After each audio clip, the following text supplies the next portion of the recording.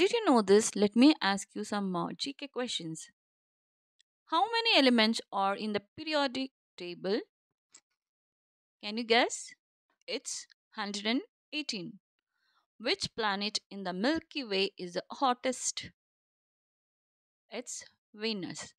Who discovered that the earth revolves around the sun? And the answer is Nicolaus Copernicus. Which planet has the most moons? It's Saturn. Which planet is closest to the sun? It's Mercury. Please subscribe and support. Where is the strongest human muscle located? Can you guess? It's jaw. Which is the only body part that is fully grown from birth? And the answer is eyes.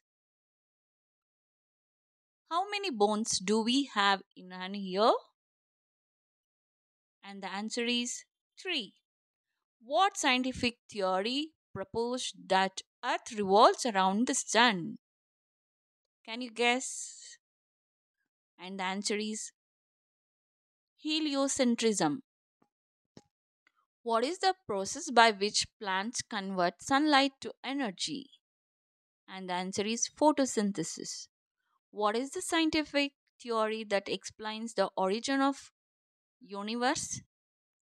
And the answer is the Big Bang theory. What is the name of the world's first artificial satellite? Can you anyone of you guess? Sputnik 1.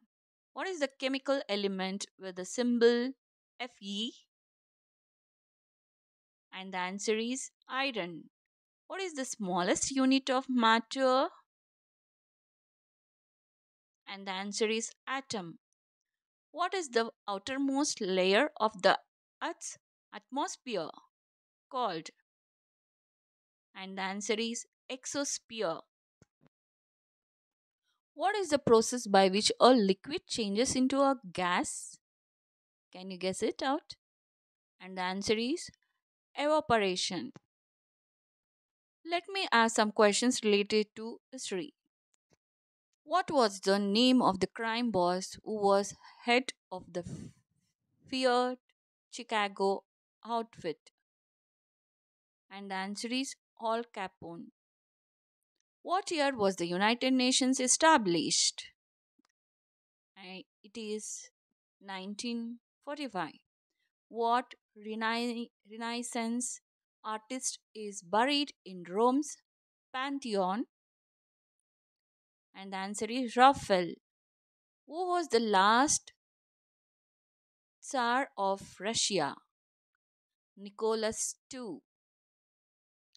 Roald Amundsen was the first man to reach the South Pole. But where was he from? Thank you for all my channel subscribers and uh, viewers. Thank you for all your great support. Thank you.